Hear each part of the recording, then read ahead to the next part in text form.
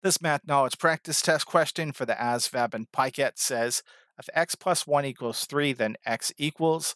And some of you might be saying to yourself, Grammar Hero, why are you posting a question that's this easy? And I just want to remind you that the ASVAB and PICAT are both computer adaptive tests. That means in the very beginning of the test, you're going to get questions that are as easy as this one you want to make sure that, especially in the beginning of the test, you get these easy questions right, because these easy questions are the key that will unlock harder questions in the second half of the test and ultimately unlock a higher score for you. So in this case, we have a one step equation to solve it. We're just going to subtract one from both sides. It says x equals 3 minus 1, which is 2. So this one is 2. If you want to quickly check your work, you can.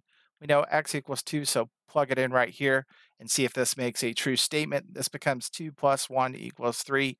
Does 3 equal 3? It does. Therefore, we're confident that we solved this one-step equation correctly.